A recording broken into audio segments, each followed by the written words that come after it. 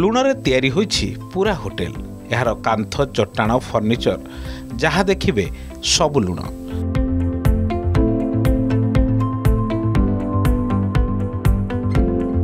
ବୋଲଭିଆର ମରୁଭୂମି ମଝିରେ ଥିବା ପଲାସିଓ ଡାସଲ ହୋଟେଲ ଏଭଳି ନିଆରା ଭାବେ ତିଆରି ହୋଇ ପର୍ଯ୍ୟଟକଙ୍କୁ ଦେଉଛି ସୁଖଦ ଅନୁଭବ।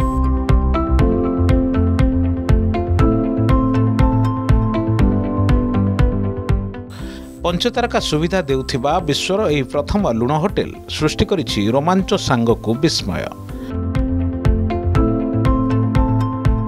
ବୋଲଭିଆରେ ଦେଖିବାକୁ ମିଳେ ମାଇଲ ମାଇଲ ବ୍ୟାପୀ ଲୁଣ ମରୁଭୂମି। ଆଉ ଏହି ଦିଗନ୍ତ ବିସ୍ତାରେ ମରୁଭୂମି ମଝିରେ ସମ୍ପୂର୍ଣ୍ଣ ଭାବେ ଲୁଣରେ ତିଆରି ହୋଟେଲ ପାଲଟିଛି ଟୁରିଷ୍ଟ ଡେଷ୍ଟିନେସନ୍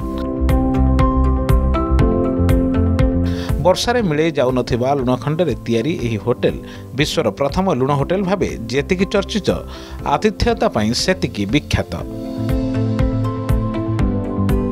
ହୁଆନ ଗ୍ରାବେଲା ହେଉଛନ୍ତି ଏହି ହୋଟେଲର ମାଲିକ। ସେ ଓ ତାଙ୍କ ବାପା ମିଶି ତିଆରି କରିଛନ୍ତି ପଲାସିଓ ଡାସଲ ହୋଟେଲ। ହୁଆନଙ୍କ ବାପା ଥିଲେ ଜଣେ ଟୁରିଷ୍ଟ ଗାଇଡର ଲୁଣ ମରୁଭୂମି ମଝିରେ ସେ ପର୍ଯ୍ୟଟକଙ୍କ ଆରାମ ପାଇଁ କରିଥିଲେ ଏଭଳି ଏକ ହୋଟେଲର ପରିକଳ୍ପନା।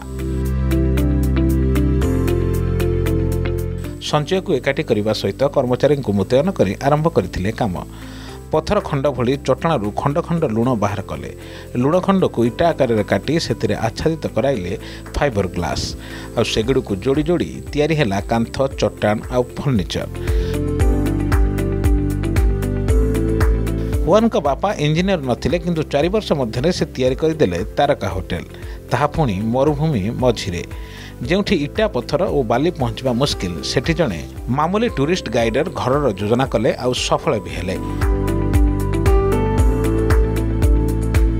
ଦିଗନ୍ତ ବିସ୍ତାରେ ଲୁଣର ଚଟାଣରୁ ଲୁଣ ଯୋଗାଡ଼ କରିବାରେ ତାଙ୍କୁ ହୋଇନଥିଲା ଅସୁବିଧା। ମାଟି ତଳୁ ଟାଣା ପଥର ଭଳି ମିଳୁଥିବା ଲୁଣକୁ ଫାଇବର ଗ୍ଲାସ୍ କୋଟେଡ୍ କରି ଘର ତିଆରିରେ ହୁଆନ ଓ ତାଙ୍କ ପିତାଙ୍କୁ ମିଳିଥିଲା ସଫଳତା। ଏବେ ଏହି ହୋଟେଲ ସାରା ବିଶ୍ୱ ପାଇଁ ବିସ୍ମୟ। Report Argus news.